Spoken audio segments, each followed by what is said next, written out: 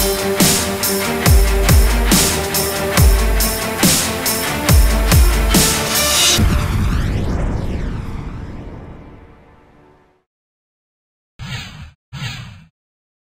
залата, където се провеждат теоретичните изпити са монтирани 4 камери, благодарение на които в кабинета на директора на администрацията в коридора и в София се наблюдава попълването на листовките.